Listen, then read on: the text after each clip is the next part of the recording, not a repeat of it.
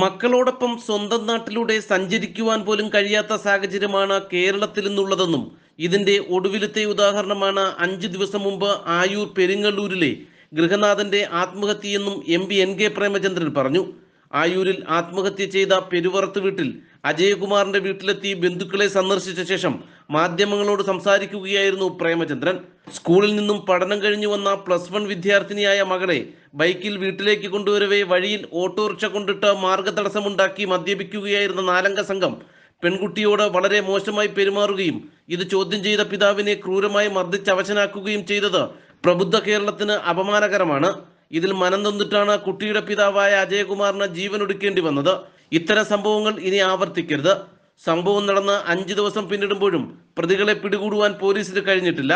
പ്രതികളെ സഹായിക്കാനും സംരക്ഷിക്കാനും ചിലർ ശ്രമിക്കുന്നു. എത്രയും പെട്ടെന്ന് പ്രതികളെ പിടികൂടി നിയമത്തിന് മുന്നിൽ എത്തിക്കണമെന്നും ഇല്ലാത്ത പക്ഷം പ്രതിഷേധമടക്കമുള്ള കാര്യങ്ങളിലേക്ക് നീങ്ങുമെന്നും എം പി പറഞ്ഞു. സാധാരണ ജനങ്ങളെ സംബന്ധിച്ചിടത്തോളം ഏറ്റവും കൂടുതൽ ഉത്കണ്ഠപ്പെടുത്തുന്ന ഞെട്ടിപ്പിക്കുന്ന ഒരു അനുഭവമാണ് ഇടമുളയ്ക്കൽ പഞ്ചായത്തിൽ പെരിങ്ങള്ളൂർ ഗ്രാമപ്രദേശത്തുണ്ടായിട്ടുള്ളത്. കാരണം മകളുമായി ഇരുചക്ര വാഹനത്തിൽ വന്നയാളെ തടഞ്ഞു നിർത്തുക കുട്ടിയെ അധിക്ഷേപകരമായ പരാമർശം നടത്തി അപമാനിക്കാൻ വേണ്ടിയിട്ടുള്ള പരിശ്രമം നടത്തുക പരസ്യമായി തെരുവോരത്തിരുന്ന് റോഡ് സൈഡിലിരുന്ന് മദ്യപിച്ച് ലക്കുകെട്ട് ചീത്ത വിളിച്ചവരെ അവരോട് കാരണം ചോദിക്കാൻ തിരക്കി ചെന്നപ്പോൾ അതിഭീകരമായി ഭയാനകമായി മർദ്ദിച്ച് അവസാനം പുറത്തിറങ്ങാൻ കഴിയാത്ത സ്ഥിതിയിൽ മാനഹാനി ഭയന്നിട്ടാണ് ശ്രീ അജയകുമാർ കേവലം നാൽപ്പത്തി ഏഴ് വയസ്സ് മാത്രം പ്രായമുള്ള അദ്ദേഹം ജീവനൊടുക്കാൻ തയ്യാറായത്. ഒന്ന് മകളെ സംബന്ധിച്ചിടത്തോളം മകളുമായി യാത്ര ചെയ്യുമ്പോൾ ഉണ്ടായ ദുരനുഭവത്തിന്റെ അടിസ്ഥാനത്തിൽ രൂപപ്പെട്ട മാനസികമായ ആഘാതം. അത് ചോദ്യം ചെയ്യാൻ ചെന്നപ്പോൾ അതിനേക്കാൾ ഭീകരമായിട്ടുള്ള മർദ്ദനം.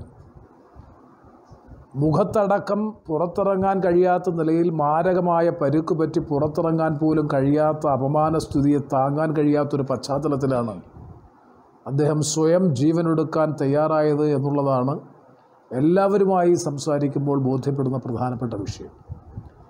നിർഭാഗ്യകരമെന്ന് പറയട്ടെ ഈ വിഷയം ഉണ്ടായതിന് ശേഷം പൊതുപ്രവർത്തകരെയും ജനപ്രതിനിധികളെയും പലരെയും അദ്ദേഹം സമീപിച്ച് സഹായം ആവശ്യപ്പെട്ടിട്ടും ഒരു തരത്തിലുള്ള നടപടിയും ഉണ്ടായില്ല എന്നുള്ളതും ഏറ്റവും നിർഭാഗ്യകരമായിട്ടുള്ള ഒരവസരമാണ് ഒരവസ്ഥയാണ്.